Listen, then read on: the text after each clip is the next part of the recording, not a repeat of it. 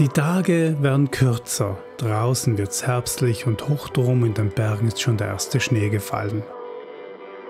Wenn ich am Abend den ein oder anderen Sender so beiläufig auf Kurzwelle lausche, erinnere ich mich an jene Zeit, wo ich in den jungen Jahren selbst Stunden vor dem Radio verbrachte, um den ein oder anderen exotischen Sender aus fernen Ländern zu lauschen.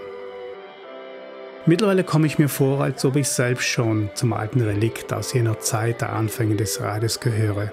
Eigentlich wollte ich die alten Bücher von damals schon längst entsorgen, um des Platzes willen. Vieles ist mittlerweile Geschichte und längst technisch überholt. Doch die Physik ist nach wie vor dieselbe geblieben. Während ich im Alten blättere, so kommt mir der Gedanke, dass wir in der heutigen Zeit sehr schnell vom Kommerz uns verleiten lassen, ohne uns an die Grundlagen zu erinnern. So auch zum Thema Antennen und Abstrahlung. Ich selbst bin aus den 80er Jahren vom CB-Funk zum Amateurfunk gekommen, wie so viele von meiner Generation. Wenn ich mich erinnere, hatten wir schon damals sogenannte Field Days in den Bergen und haben Nächte am CB-Funk verbracht. Die Herausforderungen und Experimente sind nach wie vor dieselben geblieben. Schon damals hieß es, die Antenne ist der beste Verstärker. Aber dennoch konnten wir von der Endstufe nicht die Finger lassen. Die wenigsten von uns haben ein Grundstück mit freien Flächen wie in Texas. Der eine wohnt im Industriegebiet, mitten in der Stadt oder wie ich in den Bergen mit all seinen Herausforderungen, wie zum Beispiel den Abstrahlwinkel einer DX-fähigen Antenne. Was steht da nochmal? Abstrahlwinkel ist gleich Einstrahlwinkel, also flache Abstrahlung von circa 10 Grad, damit man weit kommt. Nun schwierig im Tal mit Bergen bis zu 3000 Metern Höhe. Doch nach Berechnungen liegen in der Längstalseite die Berge ca. 30 Kilometer von meiner Position entfernt. Dazu kommt die eigene Höhe von 640 Meter im QTH, also frei für Nord- und Mittelamerika bzw. Asien.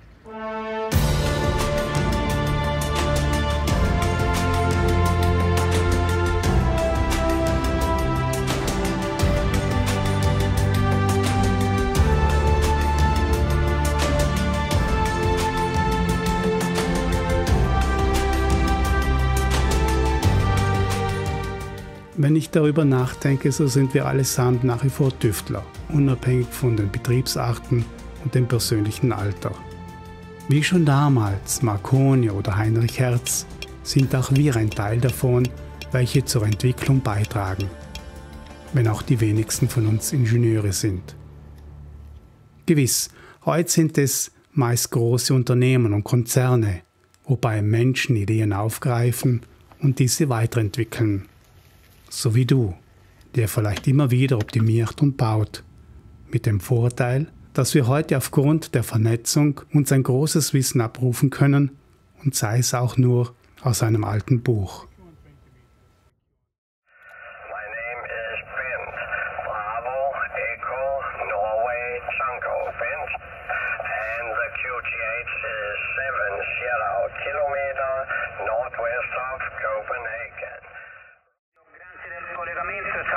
From ascoltante, avremo di riascoltarci prossimamente quanto prima. Un abbraccio Livio. Mike Zero, Kilo, Papa Delta, Stroke Mobile. The name is Rob, Radio Oscar Bravo. I'm currently driving south east bound on the Mike 40 motorway just outside of Birmingham. Over. Good afternoon, you're 5 and 9 plus 20. Yeah, I'm on the southeast coast of England, about 200 kilometres northeast of London. Zero, X-ray Charlie Zulu. Patch here open for any final, if that's okay. Looking uh, on QRZ at your location. Looks absolutely beautiful, right? Well, yeah, pretty much bang in the middle of the Alps. It looks fantastic